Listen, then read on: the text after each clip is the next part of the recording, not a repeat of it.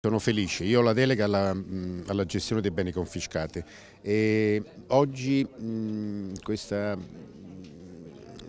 diciamo, questa, evidenza del, del, della valorizzazione di un bene confiscato per un'attività così bella viene ristrutturata anche con fondi, eh, con fondi privati è veramente la rappresentazione, la magnifica rappresentazione di quello che noi vorremmo fare con tutti i beni confiscati. Eh, I beni confiscati rappresentano una grande risorsa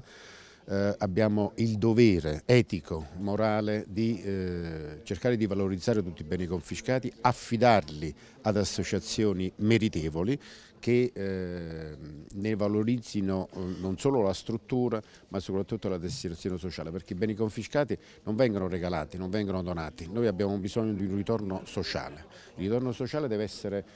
concreto, pragmatico, deve essere mh, anche valutato nella sua dimensione eh, temporale, perché noi saremo molto impegnati con il servizio beni confiscati